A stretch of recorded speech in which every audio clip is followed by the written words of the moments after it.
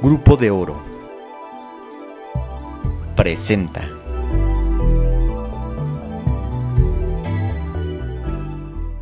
El dirigente estatal del PRD, Víctor Manuel Baezeja, exhortó a los grupos del interior del partido a atenerse exclusivamente a la convocatoria para renovar los consejeros estatales y nacionales, así como delegados. De esta manera, el jerarca del Sol Azteca fijó su postura en torno a la renovación de la dirigencia estatal, con el argumento de que primero se tiene que dar la elección de los consejeros. No tenemos fecha, no se emitió fecha. Por eso reitero en que el proceso se llevará a cabo para esto que se autorizó en la convocatoria del 28. Después habrá un congreso seguramente y en el congreso se va a determinar fecha, método y formas. Es una opinión que respetamos.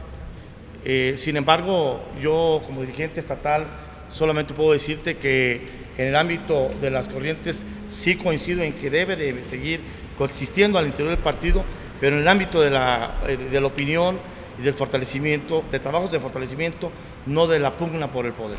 Determinará tiempos, formas en que se tendrá que hacer la renovación de los comités ejecutivos municipales y si es eh, transitable también el cambio de la dirigencia estatal.